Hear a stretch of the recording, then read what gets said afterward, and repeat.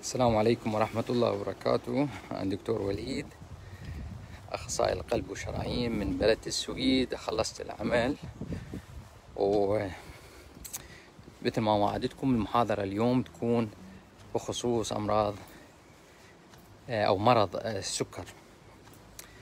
فبعض من الناس حبوا يشوفون طبيعة السويد. فاستغل الفرصة وأنا رايح للسيارة. إنه طبيعة السويد هي خلابة يعني أشجار خضراء ويعتنون يعتنون جدا بال بالطبيعة. زين عيني؟ فأخوان البلد بلد نظيف مو بسبب إنهم ينظفون لا هم يذبون وسخ ومطر هواية فهو ينظف الشوارع مالتهم. بس اذا تجي للجراج أروح على السيارة ونبلش المحاضرة. فإن شاء الله تكون محاضرة مفيدة بخصوص مرض السكر لأن له علاقة كلش علاقة قوية بأمراض القلب والشرايين. زين هذا جراج مال السيارات مخطط وحلو ومنظم. يدفع إيجار شهري قدره 30 دولار. تقدر تطبق سيارتك هنا. كل يوم 24 ساعة. فالموظفين أكثرهم وحتى المرضى يعني. المرضى يقدر يدفع مال كم ساعة يعني. هاي السيارة اللي أحكي لكم. دائما من عندها اخوان لحظة. نصعد بالسياره هسه الجو حلو. طبعا مثل ما قلت لكم الجو يتغير هنا. الجو يتغير كلش هواي بين الحار والبرد. يعني الصبح كان درجة الحرارة 13 ومغيمة. بس تطلع الشمس تطلع الشمس يصير الجو صيف. يعني درجة الحرارة هسه أقل شيء يعني أقل شيء أقل شيء درجة الحرارة آه ما يعادل 25 درجة. ثبتنا التليفون شوي شوفتكم طبيعة. وإن شاء الله بالطريق هو ممنوع انه اشيل التليفون بيدي صراحة. ما يصير ترفع التليفون بإيدك من أنت السوق. ممنوع هنا. لازم يثبت. وبالمكان. فأنا راح أسوي هيك شوية صفحة على ان تشوفون من ال من الجانب من الجانب من الجامة هذه أو اللي ورايا. إخوان إحنا أني بالنسبة لي ما أريد أبين لكم السويد السويد يعني السويد مو مهم إنه أبين لكم إياها. أنا أريد أفيدكم بالعلم اللي الله أعطاني إياه اللي هو بخصوص أمراض القلب والشرايين. وأشكركم لكل التعليقات. يعني الفيديو الأخير وصل المشاهدين مالته إلى فوق ال 130 ألف أو وصلهم. يمكن شافوا 50 ألف كل الفيديو. هاي يعطينا إحصائيات الفيسبوك. فشكرا جزيلا لكل ساهم بنقل هذه الفيديوهات للناس واستفادوا. لك أجر ولي أجر. مرض السكر. أخوان أني آسف يعني ما أقدر أجاوب يوم بيومه بس إن شاء الله أجاوب كل الناس. وباكر وعقبه هنا عطلة السبت والاحد عطلة. بس للأسف أني خفر فراح أعطيكم محاضرات بالطريق هم محاضرات تستفادوا من عندها يا الله. نتوكل على الله. اليوم الجمعة هنا وجمعة مباركة على الجميع إن شاء الله. فأخوان هم واحد لازم يتسوق للأهل لأن أنا راح أشتغل بالعطلة باشر وعقبة فهم يعني مسواق وهاي لازم أسويه هسه ورا الدوام للأهل. أخوان آه عنده عنده أسئلة يدز لي إياها على الماسنجر. ما يدز لي إياها هنا بالتعليق. تعليق وها الخط الخط عادة بالجمعة يصير خط الإنترنت عن طريق التليفون يصير ضعيف لكثرة ناس تستخدمه فإذا انقطع الخط هسه من أحكي أني سد هذا هاي وارجع للصفحة مالتي إن شاء الله. و وراح يكون موجود موجود ال ال يعني البث. من ينقطع البث من يرجع للخط البث إن شاء الله. أخوان مرض داء السكري نوعين. يعني هو شنو داء السكر صاعد السكر عنده هو مو سكر صاعد يعني انت تاكل هواي سكر لا هو السكر الفسلجه مالته شنو هو؟ اكو مادة هرمون اسمه الانسولين. هذا الانسولين هو مسؤول انه يدخل السكر للخلايا على مود يحترق. هذا طريقته. الانسولين. فماكو انسولين تبقى السكر بالدم يصعد عندك بالدم. آه هذا المرض له نوعين. النوع الأول اللي هو الوراثي الدرجة الأولى يسمونه النوع الأول وأكو مال الشيخوخة أو الكبر أو السمنة اللي هو النوع الثاني. اثنيناتهم مهمات واثنيناتهم اريدون تعرفون عليها. اللي عنده قرايب خصوصا أهل السكر رقم واحد هذا اللي يظهر خلال فترة المراهقة وحتى الأطفال. علاماته وشنو المفروض واحد يعني خصوصا اللي عندكم أطفال بالبيت ومراهقين دير بالكم إنه خاف عندهم سكر. لأن هذا هو صحيح وراثي 100% يعني بس تجي طفرات نوبات العائلة كلها ما عندهم سكر وتشرب ابنكم صار عنده سكر وانسولين يراد له. علاماته دا أحكي لكم على النوع الأول. النوع الأول. النوع الأول. مرض السكر النوع الأول. اللي هذا ما يتعالج بالحبوب بس بالإنسولين واللي يضرب الأطفال والمراهقين. شنو علاماته أخوان؟ علاماته هو ليش ليش يصير عندهم هذول عندهم مضادات حيوية ضد خلايا تفرز ال... هذا الانسولين. الانسولين يفرز شوي على الانسولين يفرز من البنكرياس. من البنكرياس اللي موجود هو هنا بنص البطن. هذا البنكرياس به خلايا معمل. أنا أسميها المعمل. أخوان على مد... أبسطها لكم. يعني من ضمن التعليقات قال والله واحد يعني قال من تعليقات. أنا قرأت كل تعليقاتكم السابقة. قال والله فيك آه الدكتور والله أحسن من الطب أفهم الطب. يمكن كان هو يعني طبيب أو أو طالب طبية. فأنا من اعطي امثال تبقى بالدماغ وتفهم. فأخوان هو معمل ينتج هذا المعمل الانسولين يعني خلينا نقول هذا المعمل ب 100 عامل وهذول ال 100 العمال ال 100 ينتجون الإنسولين. دول مو كلهم يشتغلون بنفس اللحظة. هذا من ناكل إحنا ويصير سكر عالي بالدم. يشتغلون 70 80 ينتجون الانسولين على مود ينقلون السكر من الدم للخلايا وتروح. على مود ابسط على مود الآباء يفتهمون هذا شنو السكر عند اولادهم صار. وتفتهمون إنه ما يفيد أي علاج طبيعي ولا أكل من العطار ولا حجامة ولا شيء. ما يفيد علاج السكر الأول ما يفيد علاج إلا الإنسولين وإبر الإنسولين. فهذا شو يصير عندهم ذولي خطية؟ ذولي اللي عندهم مرض هذول يصير عندهم أجسام مضادة على هذول العمال المية الموجودون بالبنكرياس. يروحون يقتلونهم وينتهون. ما يقتلونهم بيوم واحد شوية شوية يقتلونهم ويقتلونهم وينتهون ذول المية. يعني عندك معمل بلا عمال ماكو إنتاج بعد. بس قلت لك مو بيوم وليلة شوية شوية يقتلونهم لحد ما ينتهون آخر شيء. شو وقت تصير ليش مص... يعني العمر يا عمر؟ تقريبا ماكو عمر محدد. نوبات حتى بالكبر يلا يصير عندك. يعني عمر 20 25 يلا يصير عنده يطلع يطلع به هذا السكر. بس غالبا بين الخمسة وال 15 عمره الأعمارهم هذه. يطلع بيهم هذا اللي أول ما يبلش بيهم شنو؟ يقوم يبول هواية ويجوع وياكل. هاي بداياته. وما ينمو. النمو مال نحيف ضعيف نشوفه ابنك. زين ويبول هواية. ولحد إنه نوباتي يغمى عليه. يخرب الطفل. زين؟ بس هو قلت لكم هاي العلامة المهمة إنه يبول هواية. لأن السكر يصير هواي بالدم يروح على الكلى يقوم يطلع هواية. هاي علامات السكر العالي واللي هو زيادة الإدرار. والجوع يجوع ما يشبع ياكل بس ما ما يبني الجسم مالته. هاي نوبات تجي ليش تجي فجأة وحدة؟ يقول لك مثلا هبط وصار عنده سكر الطفل. أو النشل وصار عنده هاي السكر. لا هي ما علاقة هاي يعني 100% بس هي من يصير تغيير حاد بالجسم مثلا التهابات أو صدمة نفسية أو فد شيء. ذني الأجسام المضاده تصير كلش هواية وتقضي على ذول 100 عمال مرة واحدة ويطق عنده سكر بعد ماكو. إلا علاج انسولين فإنه دائما يجيبونهم يصير عندهم جفاف جدا جدا جفاف. يعني بايل كل السوائل اللي بالجسم مالته ولازم توديه للطوارئ ولازم يسوي له تحليل إدرار وتحليل دم مال سكر. ويشوفون عنده سكر ولازم يعطونه إنسولين ومغذيات كلش هواية بالبداية. هذا النوع الأول. وهذا ما يفيده إلا إنسولين العمر كله. ماكو علم ماكو حبوب إخوان سالوني قبل الناس. أكو حبوب تعوض على الانسولين ماكو. سمعت فد يوم سالفة إنه هاي شركات الأدوية اكتشفوا اكتشفوا حبوب.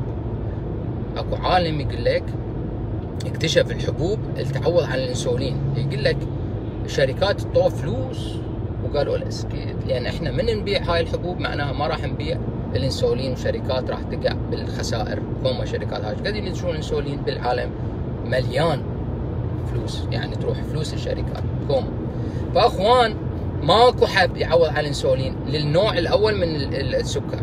النوع الأول من السكر. ماكو. ولا يفيدهم الحب اللي مال النوع الثاني. طبعا آه، خلينا نكون واقعيين وصريحين وياكم إنه أغلب السكر الإنسولين المنتج عالميا هو من الخنزير. رغم إنه هو الخنزير حرام علينا بس للأسف إنه أكثره يعني 99% ما أعرف بالضبط بالمية إيش قد ليش أكذب. إنه الإنتاج مالته ياخذون آه، البنكرياس مال الخنازير ويزرعونها وتنتج الإنسولين ويستخدم ويبيعونه يعني هاي الأغلبية. أكو مال بقر همين ما أعرف إيش قد نسبة. فهذا طبعا بالطب إذا شيء ضروري جدا يحل الحرام. يعني إذا واحد يموت إذا ما يستخدم هذا فهو حلال بال بال بالشرع. مو حرام لو حتى من الخنزير وهو أك... هو المحرم بالإسلام أكل لحم الخنزير مو الإنسولين مال الخنزير يعني. فلا تسوون اياها سالفة كبيرة وتروح وترجع وهاي حرام وهذه هاي لا هو أصلا هو مو دا ياكل هو هاي اوبر علاج هذا مو أكل ما دا ياكل خنزير. الحزام هنا إجباري إخوان إجباري. سألني واحد الحزام إجباري لو لا؟ أستغلها؟ لا ما أستغلها ما أسوي خطأ. أنا أريد أشوفكم طبيعة حلوة والله. بس خطأ هذا. ليش خطأ؟ لأن هو القانون هنا يقول لك لا تشيل التليفون بيدك؟ سوي حادث احتمال. هذا النوع الأول والنوع الأول يبقى ويا العمر كله. لذلك أوصي وبعدين توصيات نجي عليه إيش راح يسوي هذا بالاول النوع الثاني هذا يجي على كبر يعني من 30 وفوق. أغلبيته بي شوية وراثة. يعني إذا أبوك صاير عنده سكر فوق ال 30 احتمال يصير من عندك. هذا سووا بيه دراسات هواي وهاي لقوا السبب الأول الرئيسي هاي سمنه السمنة. هسه فهمكم ليش السمنة تسوي سكر وجماعة ما مو سمين بس صار عنده سكر. إي هاي عنده وراثة. عنده هميا نفس حالة ذاك النوع الأول. مضادات أجسام مضادة تروح تقتل هذا ال 100 عامل الموجود بالبنكرياس السمنة ليش تقتلها هذا؟ أنا اشرحها للمرضى مالتي ولكم اشرح لك أقول لك أنت عندك 100 عامل بهذا المعمل. عيني؟ هسه حسبوه وياي ركز وياي. عندك 100 عامل وعندك معمل. أنت تريد هاي ال 100 عامل يشتغلون بهذا المعمل ويمشوا لك 100 سنة. يعني يمشونك 100 سنة. تخيل هيك. دول العمال تداريهم لو ما تداريهم يعني أنت تريدهم يشتغلون مثلا خلي هم ينتجون مثلا سيارات. الانسولين هو عبارة عن سيارات. انت تريد انت تحتاج سيارات مثلا خلينا نقول فد 40 50 سيارة باليوم. انت اذا تضغط عليهم اريد 100 سيارة كل يوم يعني كلهم العمال راح يشتغلون وتجهدهم وجوز ما يوصلونك 100 سنة. جوز 50 سنة 30 سنة يقولوا لك إحنا طلعنا تقاعد ما نقدر نشتغل بعد تعبوا. وبعد ما عندك إنسولين ما عندك سيارات. فأنت لازم تداري البنكرياس مالتك مثل ما تداري غير شيء مثل ما تداري عمالك بالشركة مالتك دول المية. إنه أنت ما تضغط عليهم وتريد من عندهم إنتاج قوي إنسولين هواية كل الوقت. لا. وشلون أنت هواية؟ من تاكل حلويات من تاكل ال ال الكربوهيدرات الهواية. زين؟ وما تحرقها بالرياضة. هذا يؤدي إلى أنه تستهلك الخلايا المفرز الفارزة للإنسولين داخل البنكرياس. فهمت حبيبي شنو شلون يصير واحد عنده سكر؟ لذلك هاي وحدة الطريق الثاني يسوي بيك سكر تدري شنو؟ هذا الشحم بالجسم. هذا الشحم ياخذ الانسولين ويخزنه ما يخليه يروح يستفادوا من عنده. يعني العمال خطيه يعني خل ينتجون لك سيارات بس أكو حرامي دا ياخذ السيارات وال... والإنسان خلينا نقول ال... ال... الشخص اللي ينتظر بالسيارات ما تجي سيارات. اللي هو الجلوكوز ما تجي سيارات.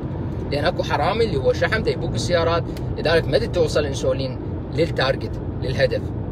لذلك يقول لك تعال هم منتج بعد هواي سيارات يعني ال 100 ذولي لازم ينتجون 200 سيارة. يعني انت ضعف الشغل مالتهم تدق عليهم شغل. لذلك ذولي راح يهلكون يستهلكون الخلايا. parietal cell يسمونها بالإنجليزي. ذولي انهكتهم ودمرتهم وانشعل ابو ابوهم اكل هاي السنود السود وال وال وال والتمن والخبز وال هي هاي يا إخوان هاي شفت عرفته والشحم اللي تبنيه بجسمك وهذا اللي يسوي عندك السكر. هسه شرحنا لك ليش يصير سكر. هي وراثة وعدم آه التزام بالأكل الصحيح التغذيه الصحيحه بالجسم هاي الشغلتين.